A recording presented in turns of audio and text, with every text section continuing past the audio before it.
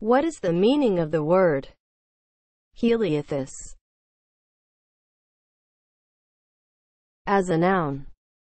A genus of Noctuidae. Heliothis is spelled H E L I O T H I S. Heliothis.